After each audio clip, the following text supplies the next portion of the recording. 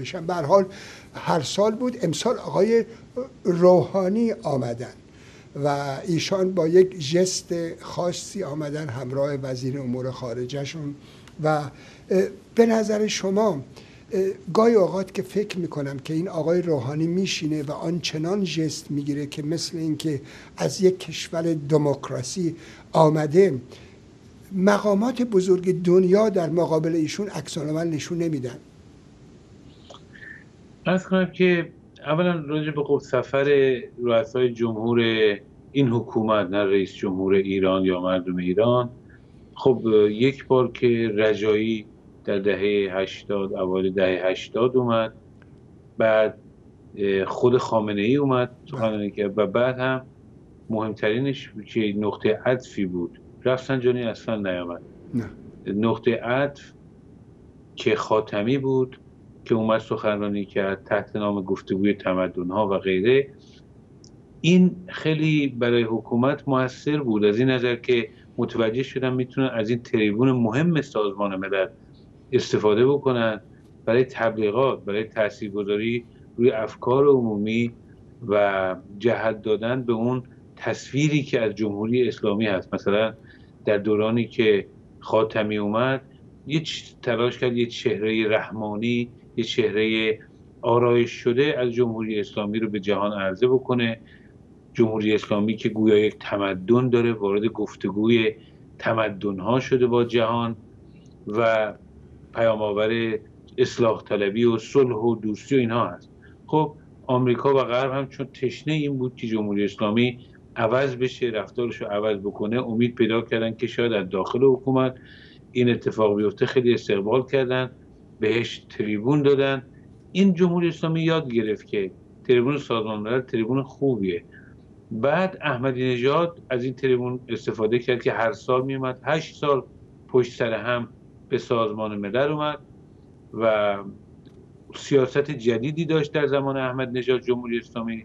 دیگه برخلاف دوران خاتمی که صحبت از گفتگوی تمدن ها و اینها بود احمد نژاد هدف مهمش دورانی بود که همزمان بود بیشتر با ریاست جمهوری جورج بوش دخالت نظامی آمریکا در عراق و افغانستان. جمهوری اسلامی پرچم مبارزه با آمریکا رو به عهده گرفته بود. می‌خواست آمریکا رو از عراق بیرون بکنه قدرت بیشتری در عراق پیدا بکنه در منطقه نفوذ بیشتری داشته باشه. پرچمدار مبارزه با آمریکاییش با آمریکا شد. بنابراین احمدی نژاد به اصطلاح پرچمدار این مبارزه در رسانه ها شد در غرب شد. از یک طرف ادعای مبارزات ضد امپریالیستی می‌کرد نقش ترقی خانه بوده می‌گرفت با رؤسای کشورهای لاتین نشست و برخواست می‌کرد کاپشن پاره میپوشید دفاع از مستضعفین جهان رو به عهده می‌گیره و این طرف هم با شعارهای ضد هولوکاست شعارهای نجات پرستانه و ضد یهودی تلاش می‌کرد در میان واپسگرایان خاورمیانه جذب نیرو کنه. روحانی بار سومش میاد. و نکته مهم اینه که حالا صحبت بکنیم اینه که چه تفاوت عظیمی هست در رسانه ها الان بار سومی که روحانی اومده با بار اولی که در سال 2013 اومد که اون موقع درست یکی یادم که اون موقع یکی مقایسه می‌کردی که از این کارشناسان آمریکایی می‌گفت مثل محصولات آیفون که به بازار میاد همه پروژکتورها روش میفته همه تبلیغش می‌کنن همه براش صف می‌کشن هورا می‌کشن دست می‌زنن به دنبال تهیهش هستن. حالا نگاه بکنید که اگه ما بخوام اخبار حضور روحانی در نیویورک رو دنبال بکنیم باید با زحمت بگردیم در رسانه ها این طرف آن طرف پیدا بکنیم.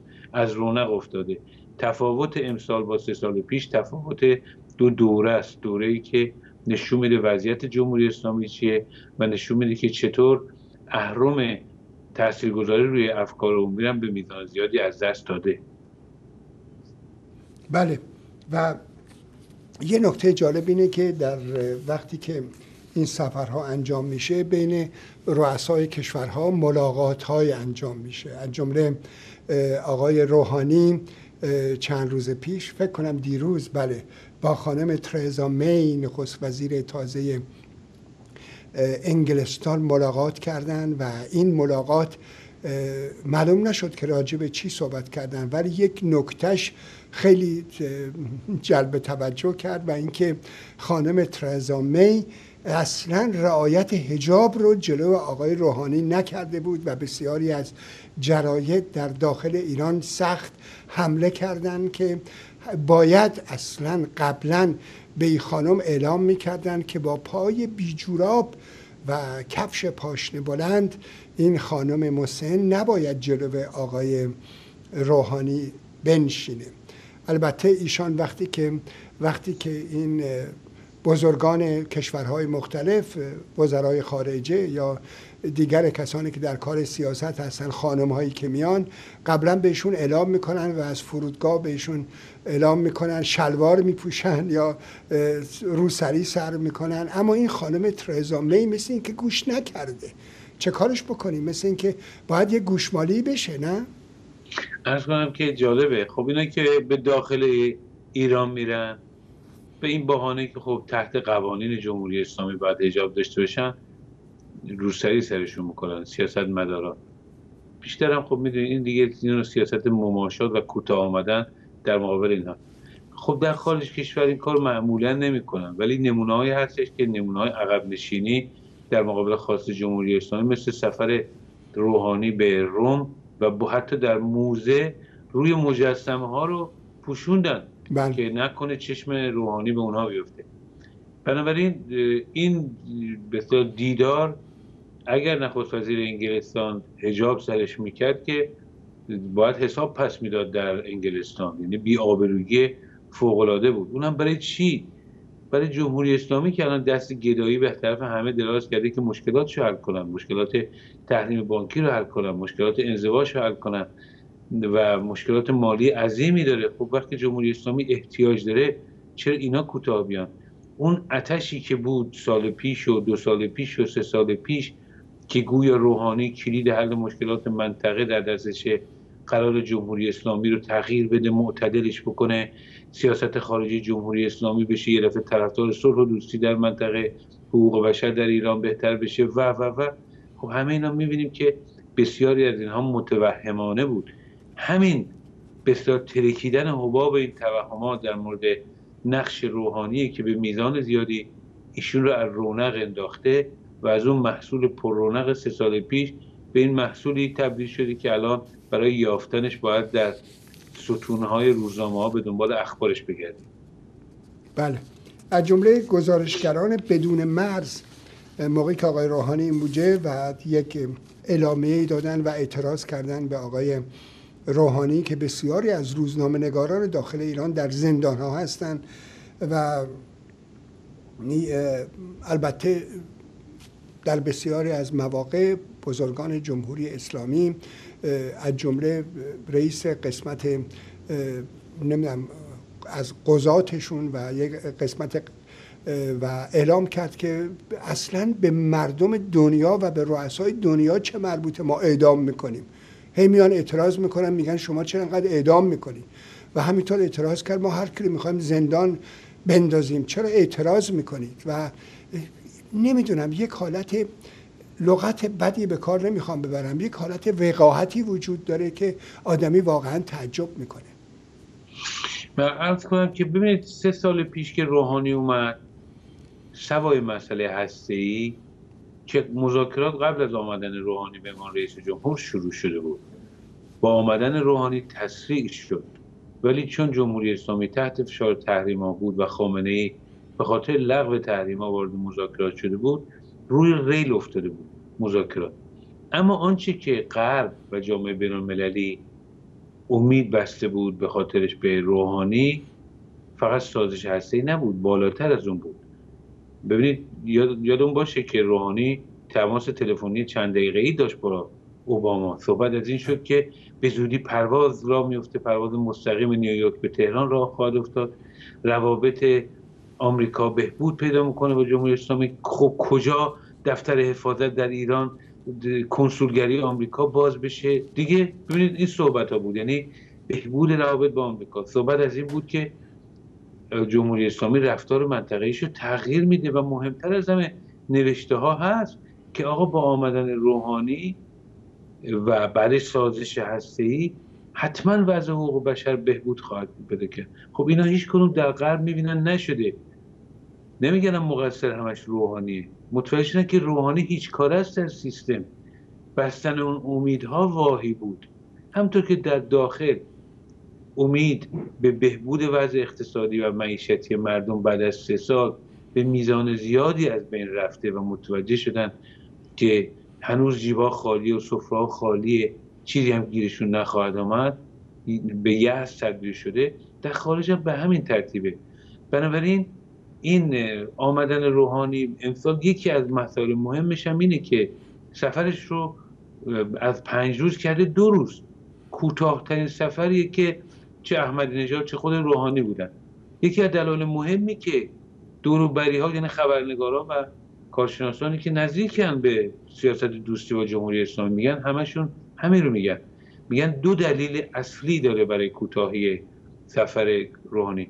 یکی اینکه اینجا حادثه پیش نیاد سخنی نگه دیداری نکنه که در داخل جناح رقیب و به خصوص خامنه گریبانشو نگیره قبل از انتخابات در ایران نمایش انتخابات. ولی مهمتر از اینه که بالاخره خبرنگارا دیگه دو سال پیش و سه سال پیش نیست که در توهم باشن. می‌خواد سوال بکنن.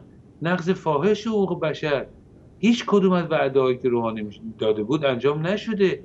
در مورد جنایت در سوریه و برای عدم پاسخگویی و روحانی اینا به نتیجه که ماندن زیاد هیچ خاصیتی براشون نداره.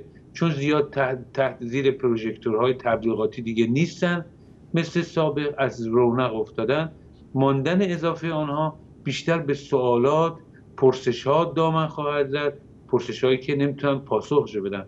بنابراین از نگاه اصلی جمهوری اسلامی که اومدن به آمریکا معنی پیدا می‌کنه و اونم تبلیغات و روابط عمومیه اضافه ماندن بیشتر ضرر داره تا فایده.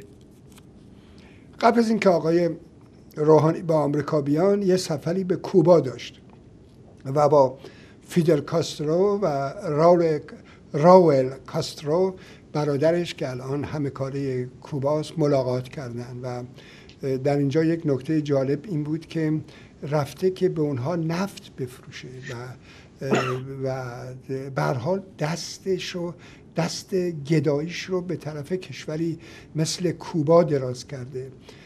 و جالبه و جز افتخاراتش اینه که با پیرمردی مثل کاسترو ملاقات کرده و پیرمردی که از روی صندلی هم به زحمت بلند میشه و جزو افتخاراتشون در این سفر در روزنامه های تهران چاپ کردن که آقای روحانی سخت مورد توجه رهبران کوبا قرار گرفته.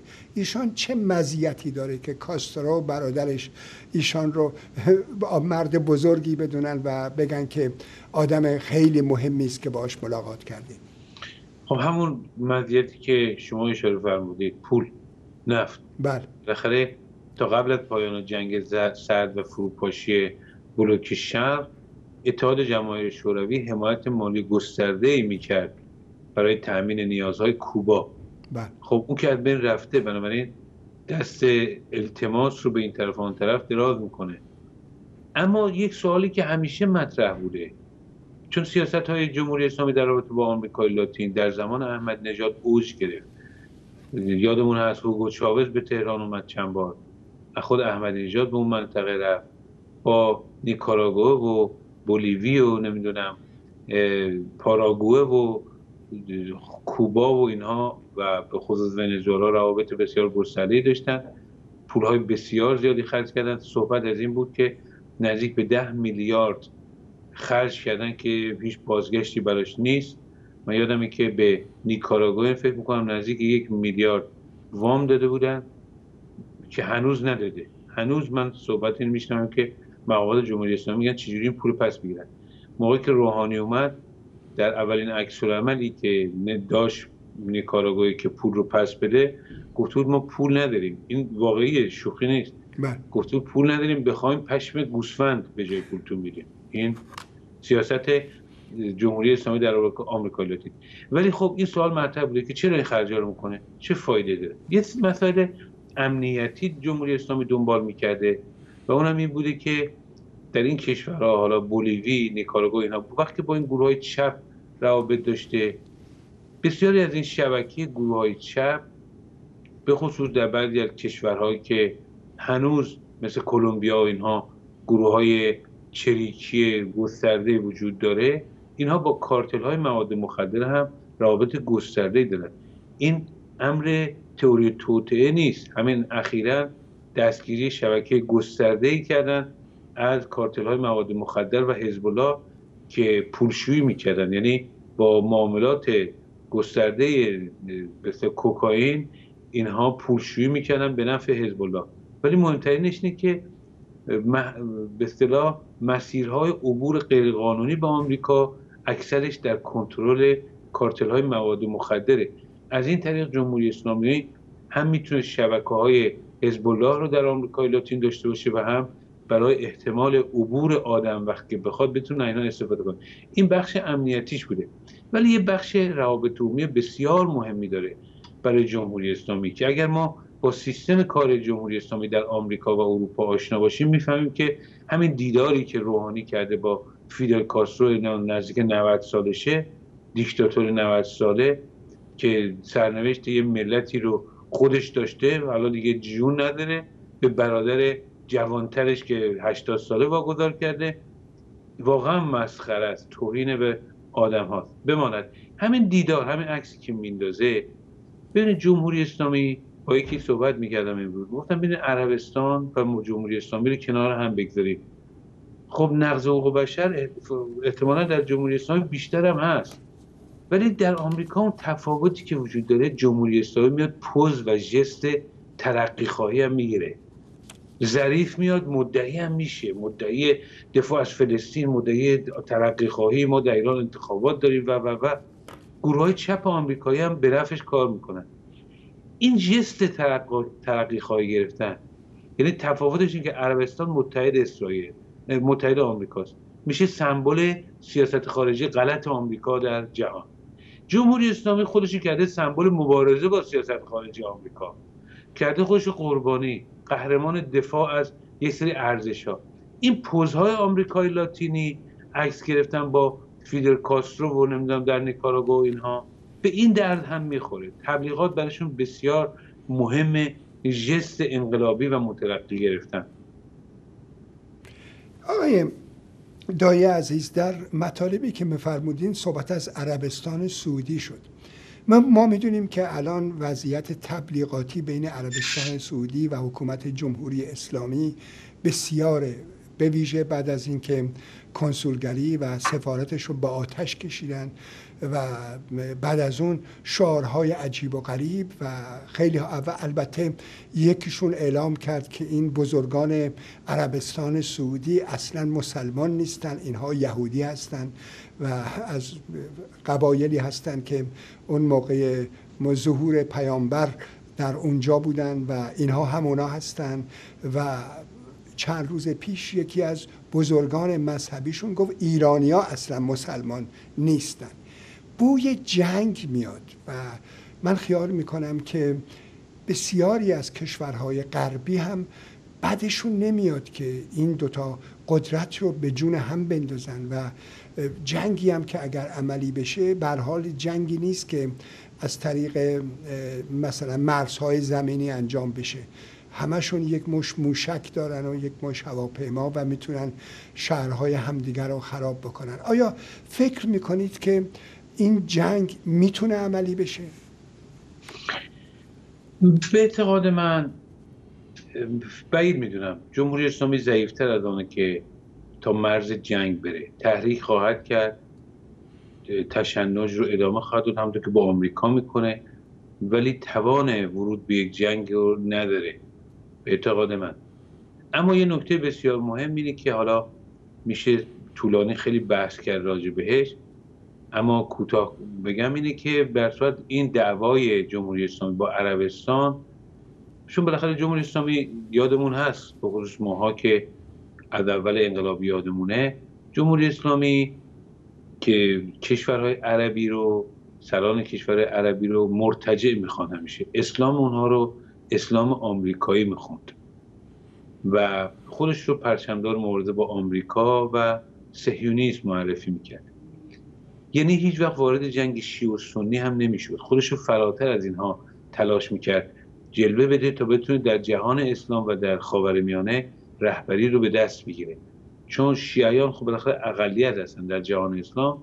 برای اینکه فراتر از شیعه و سنی باشه خودش رو با شعار مبارزه با آمریکا و نابودی اسرائیل و با آمریکای خواندن مصر و عربستان و اینها سعی می‌کرد در میان مسلمانان یارگیری کنه ولی هیچگاه وارد درگیری مستقیم و اینها با عربستان نمی‌شد. اولا خب توان نظامی نداره ولی هیچ فایده ای براش نداره. ببینید شعار علیه اسرائیل دادن و این حرفا براش فایده داره. یارگیری می‌کنه. حالا چه در آمریکا میانه چپ های چه در خاور میانه از میانه بسیاری از گرایشات اما علیه عربستان چیزی گیرش نمیاد آن چیزی که معادله رو عوض کرد و جمهوری اسلامی آرام آرام خودش رو من فکر کنم بخش هم ناخواسته وارد جنگ با عربستان دید. این بود که بالاخره بعد از اینکه آمریکا وارد عراق شد و صدام سقوط کرد اکثریت عراق شیعه هستن. جمهوری اسلامی فرصت پیدا کرد در اونجا نفوذ بیشتری پیدا بکنه.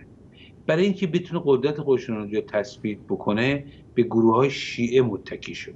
این برای اولین بار بود که جمهوری اسلامی اون وجهه شیعه خودش رو بیشتر تقویت کرد. در خود عراق مسئله جنگ شیعه و سنی به صورت جدی ادامه پیدا کرد. این گروه های طرفدار جمهوری اسلامی هزار نفر، هزاران نفر از سنی ها رو شکنجه کردن و کشتن تا آمریکا از اونجا بیرون رفت. بعد از از آمریکا آمریکا از عراق بیرون رفت جمهوری اسلامی و گروه های شیعه وابسته به اون خودشون رو صاحب اونجا می‌دیدن. این باعث شد که جمهوری اسلامی احساس قدرت بکنه. پیش خودش گفتش که جنوب عراق که میشه تقریبا مرزهای شرقی و بخش شمالی سور عربستان رو ما می‌تونیم تحت به اصطلاح تهدید قرار بدیم. چون پایگاه داریم اونجا شیعیانش با ما. خب بخشی هم در خود عربستان شیعه هستن. بعد از اون طریق از طریق یمن هم اگه باشه می‌تونیم یه مرز هم در جنوب باز کنیم. همونطور که علیه اسرائیل از مرز لبنان و از حماس و از کرانه باختری ما اسرائیل مورد تهدید قرار میدیم عربستان هم می‌تونیم این کارو بکنیم. حرفی که قاسم سلیمانی زد که هلال شیعه یک هلال اقتصادی و نفتی هم هست. بخش مهمی از نفت عربستان در منطقه شیعه هست. و و و و.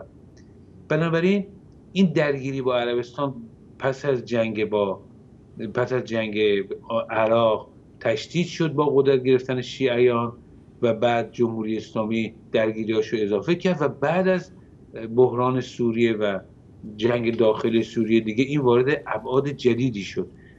واقعش اینه که عربستان سعودی از جانب جمهوری اسلامی تهدید حس می‌کنه.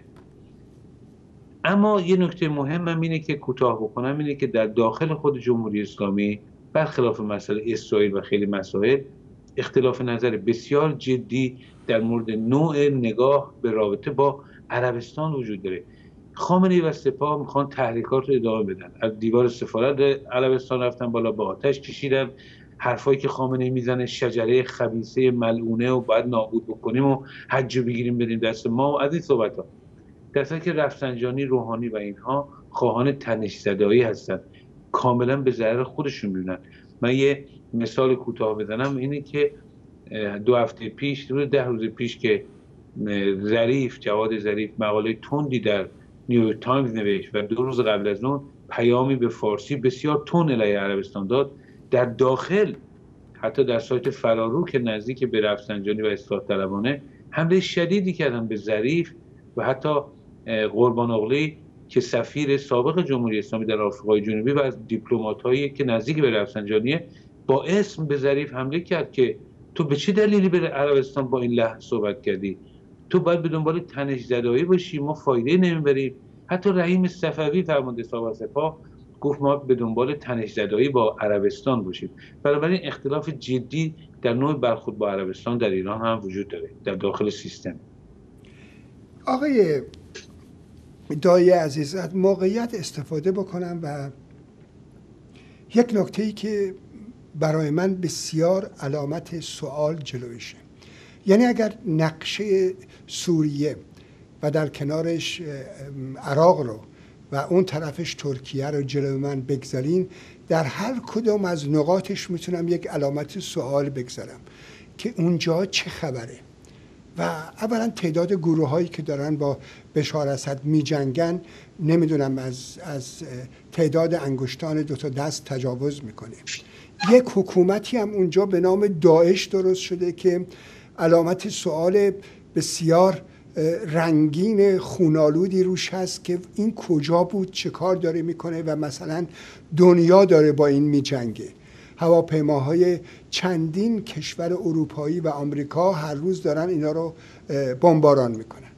قسمتی از عراق رو داعشیا گرفتن و حکومت عراق که یک حکومت شیعه هست با کمک کردها و غیره که یه روزی با هم نمی ساختن دارن با اینها می جنگن از یک طرف نکته باز علامت سوالی که جلوی من اینه که روسیه همیشه طرفدار بشار اسد بوده و حتی برای اینکه مخالفینش رو بمباران کنه فرودگاه همدان فرودگاه شاروخی رو هم هواپیماهاش رو پیاده کرد. هنوز هم مثل این که هستن نمی‌دونم. و داره اونجا بمباران می‌کنه. هواپیماها برای اینکه سوریه رو بمباران بکنن باید از روی آسمان عراق بگذرن که این عراق تقریبا الان یک جوری مستعمره آمریکاست یعنی بدون اجازه آمریکا نمی‌تونه یک لیوان آب مل کنه. و حالا می‌بینیم که بین آمریکا و روسیه مذاکراتی انجام شده که با هم دارن یه کارایی می‌کنن که بلکه بتونن بمباران اونجا رو اضافه کنن یا غیره و غیره.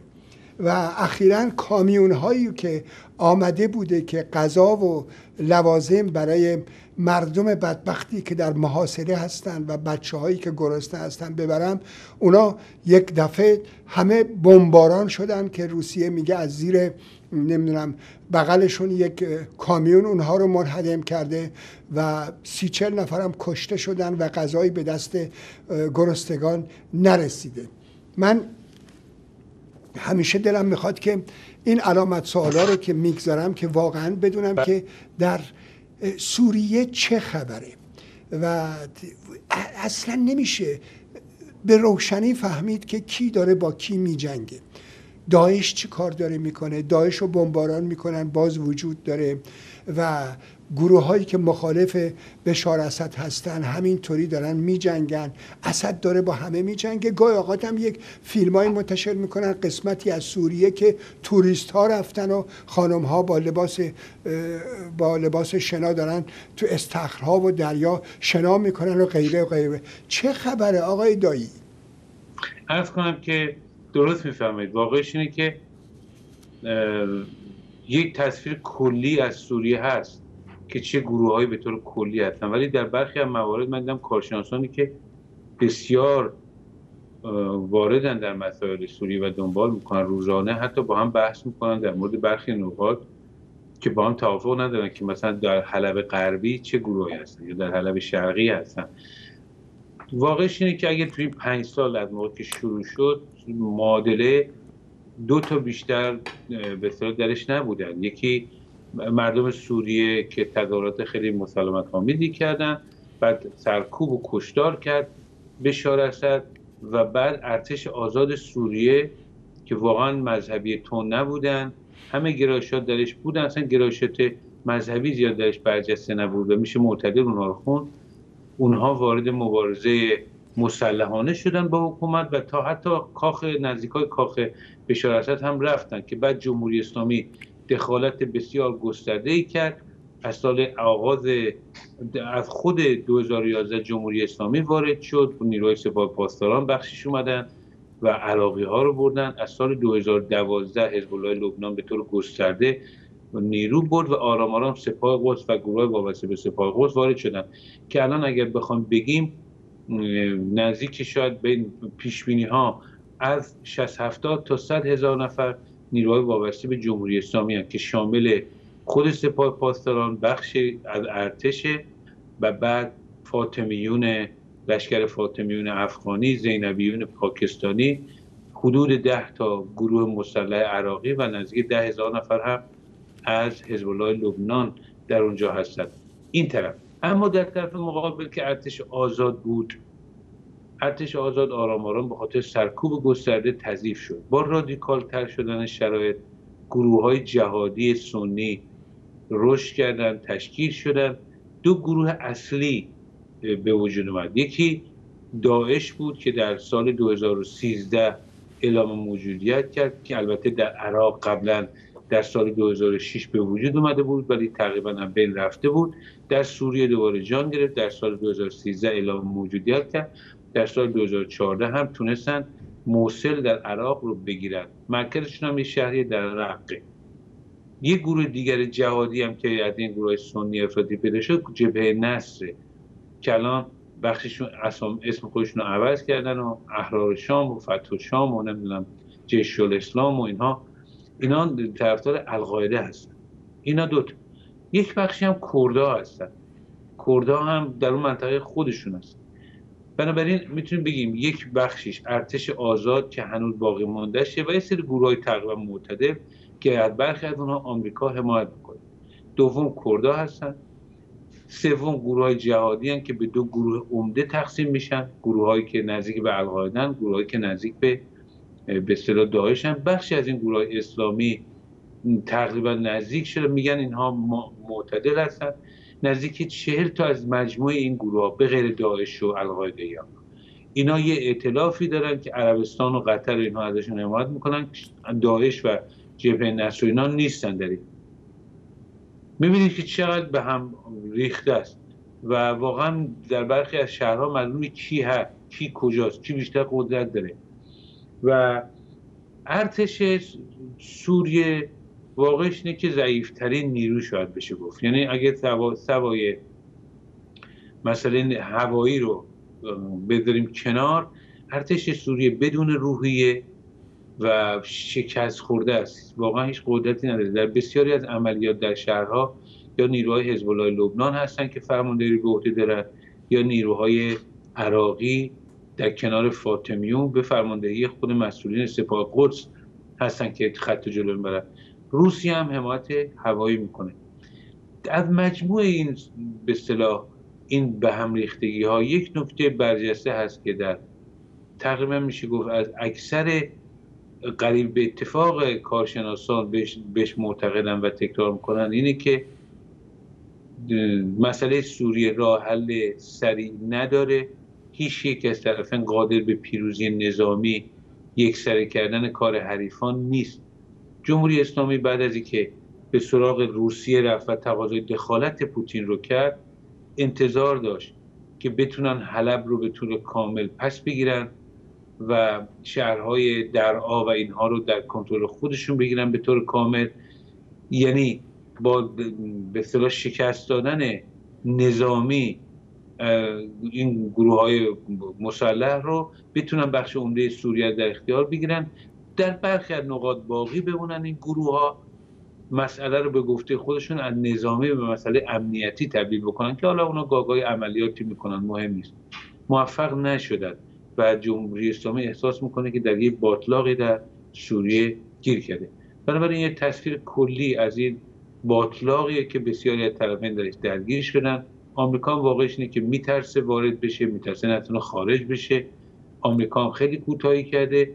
اما در مجموعش باطلاقیه که چشمانداز روشنی برای خروج هیچ یک از طرفین وجود نداره به اتحاد من و و چه پولهایی داره برای جنگ خرج میشه و بله بله. و یکی از گرانترین اجناس دنیا اسلحه هست و مرتب داره هر فشنگی که داره شلیک میشه قیمت بالایی داره و جمهوری اسلامی با پول ملت ایران داره در اونجا میجنگه و آدمی نمی‌دونه که هدفش چیه و این همه کشته داده و این همه پول خرج کرده.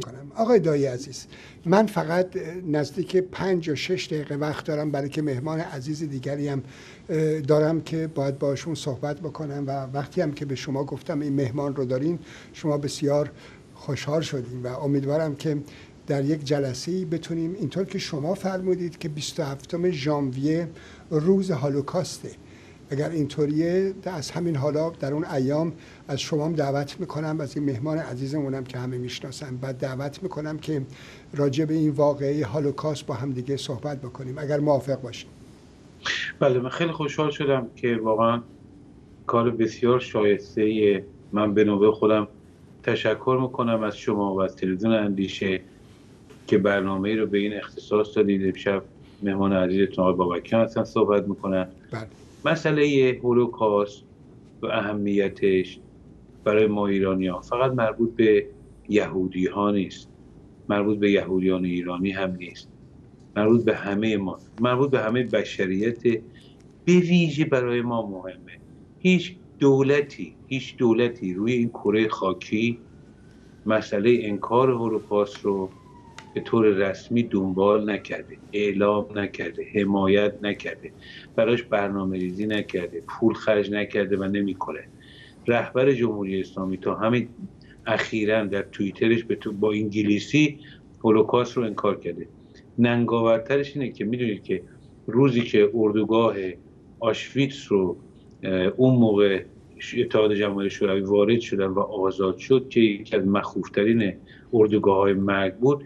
به همین خاطر روز فکر کنم 27 ژانویه اگه اشتباه نکنن و روز جهانی یادبود قربانیان هولوکاست اعلام کردن. همین روز 27 ژانویه امسال سید علی خامنه ای در وبسایت خودش ویدیو سخنرانی خودش با زیرنویس انگلیسی در انکار هولوکاست منتشر کرد. حالا چرا برای ما ایرانی ها اهمیت داره سوای مسائل انسانیش که بسیار مهمه. مسئله اینکه جنایت رو کم رنگ کردن باعث تکرارش میشه و و و همه اینا مهمه که الان طولانی خواهد شد. نکته که من اشاره کنم که حتما مهمان عزیزتون از من آگاه تره و می‌دونم برای هموطنان باز خواهد کرد. من فقط نکته سیاسیشو بگم این که اینکه جمهوری اسلامی به این مسئله می‌پردازه انقدر برای رضای خدا که نمی‌کنه که برای دفاع از حق و حقیقت که نمی‌کنه که. این براش فایده سیاسی داره در منطقه می‌تونه یادگیری بکنه. با اشاعه یهود ستیزی با راه اندازی جنگ صلیبی با اسرائیل و دامن زدن به نفرت با اسرائیل تلاش می‌کنه سیاست های منطقه رو جلو ببره تلاش می‌کنه که در داخل بتونه یارگیری بکنه به حکومتش ادامه بده. یعنی این مسئله این کار هولوکاست و این یهود ستیزی بیمارگونه این باعث بقای حکومت ما باید باش مبارزه کنیم. و مهمتر از همه اینه که به هر صورت به هر میزانی در ما ایرانی ها هم به میزان رسوبات و رگه های از یهود ستیزی هست. حالا ممکنه در پنهان بشه در اسرائیل ستیزی. بعضی ها تفاوت هست بین مثلا انتقاد از اسرائیل مبارزه حتی با اسرائیل یا یهود ستیزی. ولی اون نوعیش که در خیلی از هموطنان هست یهود ستیزانه است.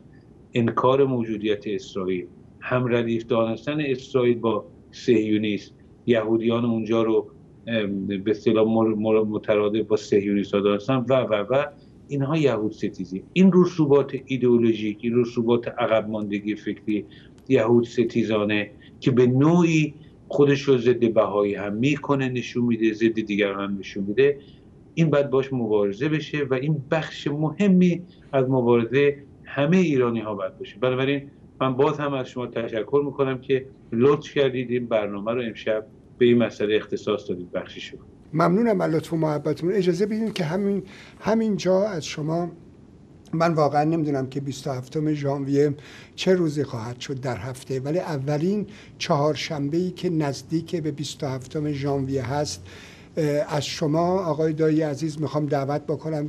سفری نرید از آقای بابکنیام دکتر عزیزمون دعوت کنم اینجا باشیم. صحبت بکنیم. جنایت جنایته.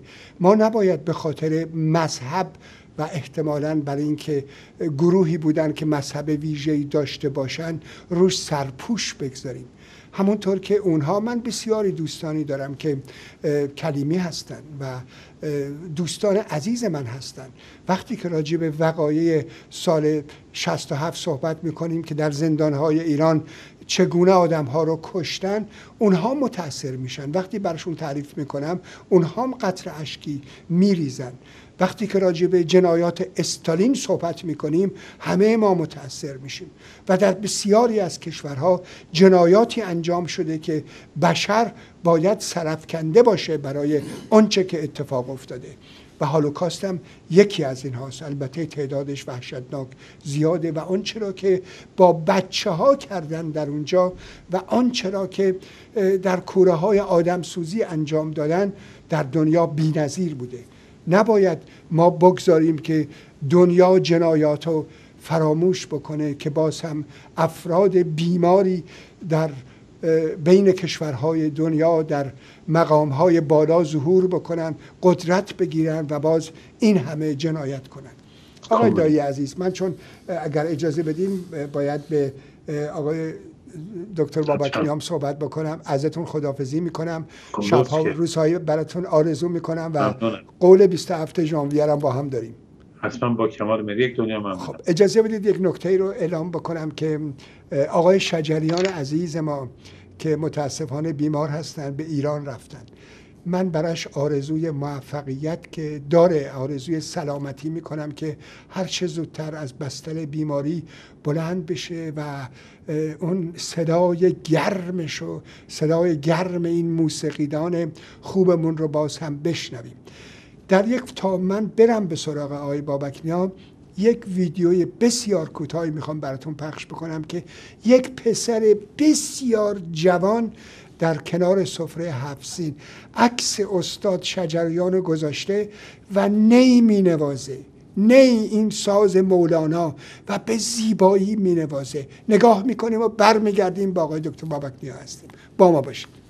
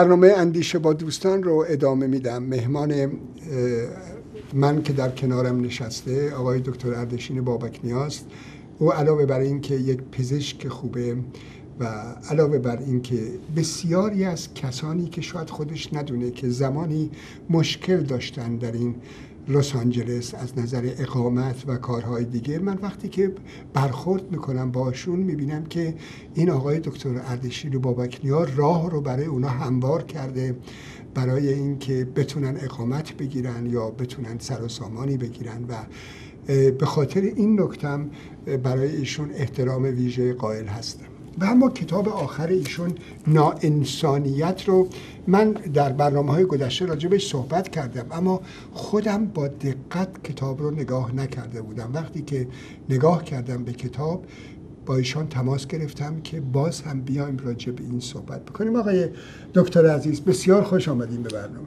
ممنونم از محبتتون. البته می‌دونم که بعد از برنامه ما در همین چهارشنبه شبها شما یه برنامه ویژه‌ای داریم که راجع به مسائل کاریتون صحبت می‌کنید. اما در اینجا ما سعی می‌کنیم که مسائلی رو که شما در جوف کارتون انجام میدین و به خصوص اون چهار جلد کتابی که راجع به هالوکاست بود و همینطور این کتاب ناانسانیت اسم خیلی قشنگیه.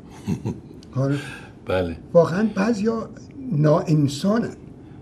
واقعا هست و این واقعی که هولوکاست ما اسمشو گذاشتیم. هیچ من فکر می‌کنم واژه تنهایی جز ناانسانیت بتونه این این جنایات رو توجیه بکنه. همچی که جناب دایی فرمودن چند لحظه پیش اونهایی که فکر می‌کنن هولوکاست یک فاجعه یهودی است در اشتباه محزن همچی خودتون فرمودین. هولوکاست یک فاجعه انسانی است. هولوکاست مرگ اخلاق انسانیه. بله. هولوکاست یورش نازی ها به خانواده انسانه. و اگر کسی این رو بخواد تعلق چه یهودی چه غیر یهودی؟ برای اینکه من گاهگاهی که میگم در سخنرانی هم یا در تلویزیون گفتم که این فاجعه یهودی نیست من حتی بعض بعضی یهودی ها همکیشان خود من اعتراض کردن که چرا میگین این دکتر این فاجعه یهودی نیست. اگر هولوکاست رو ما یک فاجعه مذهبی بهش نگاه بکنیم بعد هشتاد سال بعد یک فاجعه دیگه پیش میاد که داعش داره انجام میده. همونو بعد این بار دنیا میگه این واجهه مسلمان هاست و به ما ربطی نداره. متاسفانه. برای همین من در کتاب هام چه در این کتاب جدید چه در کتاب های چهار جلدی تأکید من در این بوده که هولوکاست ناانسانی انسان ها به انسان هاست ستمگری انسان ها به انسان هاست و همچون که فرمودین یکی از دلایل وسواس من نسبت به این فاجعه مسئله است که جنایاتی است که نازی ها به کودکان کردند. همچون که می‌دونین بیش از یک میلیون کودک بیگناه در دوران هولوکاست. بدون که بدونن مذهب یعنی چی بدون که گناهی انجام داده باشند فقط به جرم اینکه در چه خانواده ای به دنیا اومدن اینها را از بین بردن. و برای همین هست که سازمان ملل متحد و دادگاه نورنبرگ زمانی که تشکیل شد هولوکاست رو جنایات علیه بشریت اعلام کردن. بله. خب من خیال می‌کنم که بسیاری از کسانی که دنیای خودشون رو بهتر بشناسن دنیایی که درش زندگی می‌کنن و جنایاتی که در این دنیا شده به این کتاب ناانسانیت مراجعه بکنن. اولا تصاویر بسیار زیبایی که زنده یاد اردشیر محسس برای این کشیده. من خودم چون در نقاشی دستی دارم می‌بینم که در هر کدام از این تصاویر رو که کشیده فکر هست. چیز ساده ای نیست یعنی فکر درش آمده و به زیبایی ترسیم شده. و آنچنان ترسیم شده که یک چیز رئال نیست. چیز رئال نمی‌تونه آنچنان در آدمی فکر بیاندازه که راجع بهش بیاندیشیم.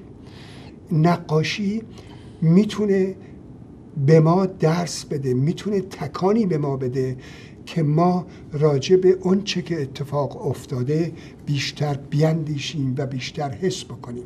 شما وقتی که تصاویر این کتاب رو نگاه می‌کنید می‌بینید که در مطلبی که نوشته شده با چه زیبایی این زنیاد اردشیر محسس این نقاش و طراح و کاریکاتوریست به نام اینکه طراح و کاریکاتوریست دارم به کار می‌برم همیشه فکر نکنید که کاریکاتور فقط برای خنده است. نه. کاریکاتور با تر با خطوطی که به کار میره پیامی رو برای ما میفرسته که عکس ها و شاید فیلم ها نتونن به این راحتی این پیام رو به ما برسونن. و این کتاب البته اجازه بدید من بگم اینجا من ننشستم که برای بگم که کسی این کتاب رو بخره. ولی اگر کسی بخواد کتاب رو بخره خب می‌تونه بخره.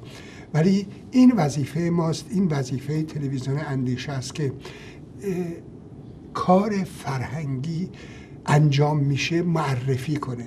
این وظیفه ماست و من همیشه در برنامه هام بسیاری از کتاب ها رو معرفی می‌کنم. برای اینکه این کتابی که در زندگی به ما درس میده. کتاب ها هستن که پنجری رو رو به ما باز می‌کنن که دنیا و وقایع دنیا رو بهتر بشناسیم بهتر آشنا بشیم مشکل ما ایرانی ها یک مشکلی است. امیدوارم هیچ کس بدش نیاد. ما بسیاری از نکاتی رو که باید بدانیم نمی‌دونیم. تاریخ خودمون رو نمی‌شناسیم به درستی. مذهبمون رو به درستی نمی‌شناسیم. و حتی بسیاری از مسائلی رو که باید بدونیم دنیا رو آنطور که باید و شاید نمی‌خوام جمع بندی کنم ولی گاهی اوقات آدمی یک حسی درش ایجاد میشه برای اینکه من در از صبح تا بعد از ظهر با مردم در تماسم سوالاتی که می‌کنن می‌بینم که آنطور که باید و شاید به تاریخشون به مسائل گذشتهشون حتی به تاریخشون و آدمهای تاریخی که داشتن به درستی نمی‌شناسن. میگن یا خوبه یا بده. هیچ وقت هیچ ترازویی ندارن که در این ترازو خوبها خوبی ها و بدی ها رو بگذارن. یا از فلان شاه خوششون میاد یا چنان تعصب دارن که قربونش میرن بدون اینکه به درستی بشناسنش. ببخشید که این موضوع رو آوردم. اما کتاب ناانسانیت با این اسم قشنگی که داره ما رو آگاه می‌کنه ما رو آشنا می‌کنه. همونطور گفتم پنجری رو به ما باز می‌کنه که یکی از جنایات بزرگ تاریخ رو بهتر ببینیم. این نیست بسیار جنایت شده در طول تاریخ. و متاسفانه بهانه بسیاری از جنایات و جنگ های دنیا مذهب بوده. و هنوز هم وقتی که به داعش نگاه می‌کنیم وقتی که می‌بینیم که جلو دوربین یک بچه رو وادار می‌کنن سر یک نفر دیگر رو ببره و میگن این مسلمان این محمد رسول الله اینطوری بوده یا غیره. نمی‌خوام وارد جزئیاتش بشم. همه چیز گروه وحشی که این روزها جلو دوربین جنایت می‌کنه به نام مذهب داره در دنیا میاد و سوء استفاده از مذهب. امیدوارم بحث من بحث مذهبی رو جلو نکشه. برای اینکه به نظر من انسان باید انسان شریفی باشه. با هر مذهبی با هر عقیده ای ببخشید آقای بابا ببخشید که من گرم شدم. خواهش می‌کنم. و به نظر من اول باید انسان خوبی باشیم. لزومی نداره که مذهب خاصی داشته باشیم. درسته؟ من بارها اینو گفتم. هرچه موهای من سفیدتر میشه من از مذهب های ارگانایز شده یکم دورتر میشم و به یک مذهب بیشتر معتقد میشم و اونم انسانیته که من امیدوارم امیدوارم که ماها اعتقادمون به اون مذهب هر روز بیشتر بشه. من می‌دونم که در دوران زندگی من و شاید نسل بعد از منم مسئله مذهب از بین نرفته باشه و وجود داشته باشه بله. ولی به نظر من همون که راجب ناانسانیت گفتیم انسان بودن رو معیار قرار بدیم من تو سخنرانیان و تو برنامه های شما چندین بار اینو من گفتم که ما متاسفانه به طور مثال الان مسئله حاد سوریه رو من میگم بله. تلویزیون رو نگاه می‌کنیم آقای کاردان. تلویزیون شما تلویزیون سی نگاه می‌کنیم و می‌بینیم که همین دیروز یه بمب انداختن و 20 دکتر و پرستار رو از بین بردن. که می‌رفتن مردم رو کمک کنن. کمک غذا میبردن برای مردم. دارو میبردن. دارو میبردن. بعد یا دو هفته قبل از اینکه آتش بس بشه یک مدرسه رو زدن که بچه ها تشن با مواد شیمیایی زده بودن که بچه ها به حالت تشنج حتی نفس نمی‌تونستن بکشن. بعد اینو داریم ما زنده روی تلویزیون می‌بینیم. ولی سه دقیقه بعد میگیم عزیزم اون نمک رو به من بده. این غذا نمکش کمه. درست مثل اینکه اصلا نشنیدیم تلویزیون چی گفت. من همیشه اینو گفتم که ما متاسفانه با یک عایق بیتفاوتی خودمون رو پوشوندیم و چون میگیم سوریه از ما دوره اونها مسلمان هستم من امریکایی هستم من یهودی هستم من ایرانی هستم ربطی به من نداره. مسئله ای که من در این کتاب و در کتاب های چارجلدی بهش مراجعه کردم و تأکید کردم اینه که ما باید مسئله دیگری رو از بین ببریم. ما بایستی به درد و رنج کسایی که ما بهش میگیم دیگران حساس بشیم. من بارها در سخنرانی هایم گفتم اگر من به عنوان یک پزشک به عنوان یک امریکایی به عنوان یک ایرانی به عنوان یک یهودی از کشته شدن یک فرزند و یک بچه بیگناه عرب یا افریقایی. به اندازه یک بچه ایرانی امریکایی یهودی متاثر نشم. اسم من انسان نیست همون ناانسانه. تا زمانی که ما به درد و رنج دیگران حساسیت پیدا نکنیم. ترحم فقط کافی نیست. حساس باشیم. مسئول نباشیم. این جنایات اتفاق میفته و من اگه یک جهت این احساس موهبت می‌کنم واقعا که من تونستم ده سال از زندگی خودم رو به پژوهش و نگارش این کتاب ها بپردازم وقف بکنم و بدم که تا منو به یک قلعه شریف بودن برسونه. و این موهبتی بود که من آرزوش رو برای هر کسی می‌کنم. موهبتیه که منو دیگه از این مسئله که یهودی بودن مسلمان بودن ایرانی بودن عراقی بودن یک مقداری جدا کرده. همه ما متعلق به یک خانواده انسان هستیم. یک جمله خانم انوشه انصاری رو که می‌شناسیم بله بله. اولین فضانورد ایرانی یه جمله در یکی از سخنرانیهاش گفت انوشه که انقدر قشنگ بود که من دلم می‌خواد اینو من تکرار بکنم. انوشه بهش گفتن که تو این سفر فضایی که تو رفتی چه چیزی برای تو شگفت انگیزتر بود؟ می‌گفت هرچه من از زمین دورتر می‌شدم کره زمین اول من امریکا رو می‌دیدم بعد قاره امریکا رو دیدم بعد همسفر وست رو می‌دیدم غرب رو می‌دیدم بعد همه دنیا رو دیدم. بعد این هرچه بالاتر می‌رفت میدم که کره خاکی ما چه چیز کوچکیه. و ما چقدر ما انسان ها چقدر کوچکتر از آنیم در این کره خاکی. و چرا؟ و میگم من متوجه شدم اونجا که همه ما به این خانواده کره خاکی متعلقیم. من امیدوارم که این احساس این بزرگ منشی در همه ما تلاوت پیدا بکنه. دلیل نوشتن من کوشش من برای نگارش این کتاب که امیدوارم همونجور که فرمودین بخونن و یاد بگیریم ازش اینه که ما به اون درجه از انسانیت برسیم که دیگه دیگری نگیم که به من ربطی نداره. بله. از من دوره سوریه است فلسطین یهودی ایرانی سیاهه و من امیدوارم به این درجه از اولویت ما برسیم. و متاسفانه امروزه در ایران حکومتی بر سر کاره که این این مشکل رو مشکل تر می‌کنه. و واقعا وقتی که می‌فهمیم که در ایران اجازه نمیدن که یک جوان بهایی به دانشگاه بره یا وقتی که میریزن و قبرهای بهایی ها رو میشکنن چه چیزی رو چه چیزی رو حل می‌کنن؟ جنازه هایی که اون زیره مگر می‌تونه مشکلی حل بشه؟ ولی این که اجازه نمیدن یک انسان به خاطر اینکه عقیده ای داره که با اونها متضاده به درس خواندن نره به دانشگاه نره.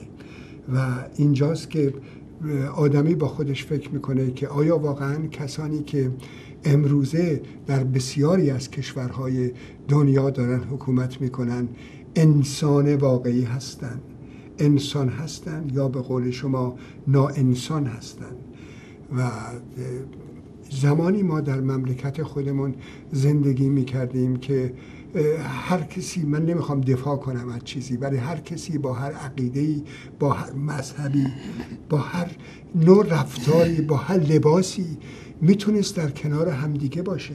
من نمیگم ایدئال بود آنچنان که پوزش رو بدیم سوئد و نروژ نبود ولی جایی بود که امروز مردم ایران آرزو می‌کنن برگردن. با وجود که این فرن و گاهی اوقات که به فیلم ها نگاه می‌کنیم مدتی پیش یک فیلمی در برنامه هم نشون دادم. از رستوران های ایران در گذشته که همه کنار هم داشتیم غذا میخوردیم و هر کسی با هر لباسی هر خانمی به هر فلان. و این جنایتی که انجام شده که مردم رو به راهی بردن که در خیابان ها به همدیگه توهین می‌کنن. و زن رو آنچنان حقیر می‌کنن که حق نداری ورزش ببینی حق نداری که زیر بار حتما باید زیر بار مردت بری و مرد هر موقع اراده می‌کنه تو عروسک دست اون هستی اینها اینها هم همه یک نوع جنایته که به حال جزو چیزهایی که در تاریخ میمونه. خب مطلب دیگه هم شما داشتین می‌خواستین تو برنامه اعلام کنید من مدت ها بود که بهتون گفته بودم که دلم می‌خواد چند دقیقه راجع به آقای کاردان صحبت بکنم. خیلی ممنون از شما مرسی. من شما رو خیلی دوست دارم. خودتونم می‌دونی. خواهش می‌کنم حتما. من یه سری لغات از لغتنامه روزانه ما آقای کاردان خارج شده. یکی یکی دوتاش رو تو بحثمون امروز اووردیم. لغاتی مثل شریف نازنین مهربون. الان خیلی کم می‌بینیم که در روز و روزگار روزانمون صحبت های روزانمون بگیم یه نفر آدم شریفیه. آدم فروتنیه. همش میگه آدم موفقیه یه بیزینسمن بسیار موفقه یه دکتر خوبه. صفات یه مقدار جابجا جا شدن من همیشه دنبال این میگشتم که این و اینم تعارف من نمی‌کنم. این دلم می‌خواد اینو من تو تلویزیون مستقیم توی دوربین تلویزیون بگم. برای من همیشه شما یه آدم شریف بودین یه آدم ناز و نازنین بودین. من دلم می‌خواست اینو بفهمم برم دنبالش. من به لغتنامه ده خدا پناه بردم.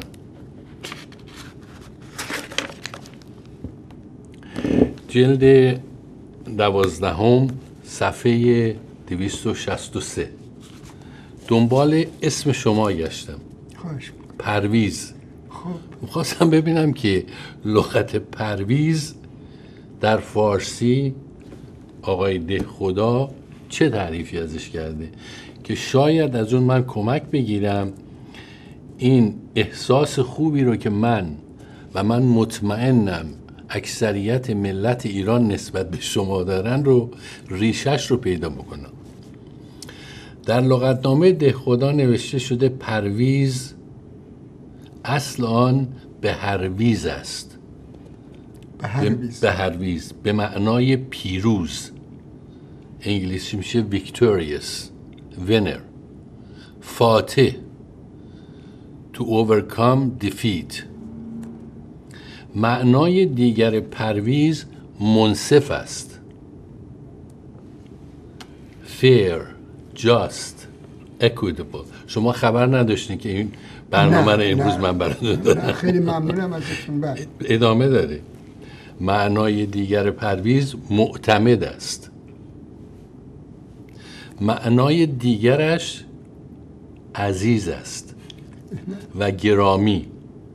Esteemed, honored, dear, darling. گرامی و دوست داشتنی. معنای دیگر پرویز همت است و شایسته و شایستگی.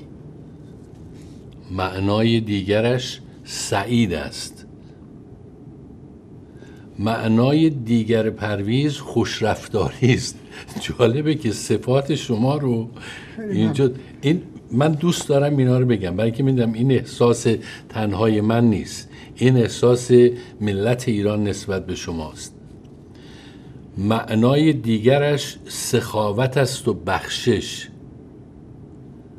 و از آن مهمتر بخشیدن to forgive. این درست جم... معناهای معنایی است که در لغتنامه اومده. جلد دوازده صفحه 263 ولی معنای اصلی پرویز چقدر این قشنگه؟ بخشنده است چو ابر. هنگامی که ابر میبخشد نمیمیرد به کجا و به که میبخشد. میبخشد حتی علا رقم آنکه می‌داند خود نیز در این راه ناپدید می شود بله با باران خودش خودش رو از می می‌بره. زنده باشید پرویز. اول اجازه بدید من توضیح بدم خدمتون. من متاسفانه نمی‌دونستم که آقای دکتر اردشیر بابکنی ها می‌خواستن راجع من صحبت بکنن مگر نه بهشون می‌گفتم که این کار رو نکنن. برای اینکه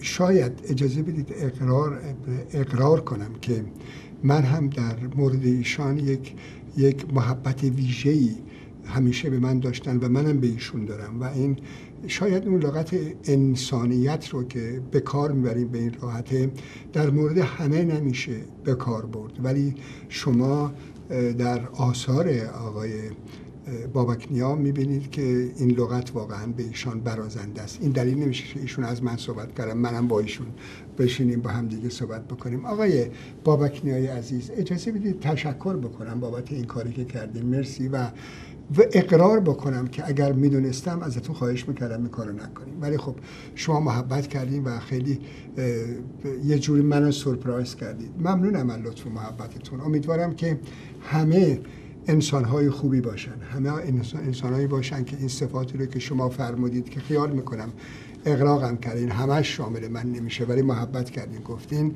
در مورد همه انجام بشه. اجازه بدید در آخر برنامه یک خواهشی ازتون داشته باشم. برای اینکه بعد از اینکه من با شما برنامه اجرا کردم که البته الان قرار گذاشتیم برای 27 ژانویه من دقیقا نمی‌دونم چه روزی است. ولی از آقای دایی هم خواهش کردم و ایشون این رو آقای دایی گفتن. ولی که 27 ژانویه باشه و برنامه ویژه ای رو داشته باشیم و بتونیم راجع به این هالوکاست بیشتر صحبت بکنیم. و خواهش دیگه ای که از اون داشتم خیلی ها به ما زنگ می‌زنن وقتی که در برنامه هستیم که این کتاب رو ناانسانیت رو چگونه می‌تونن فراهم کنن.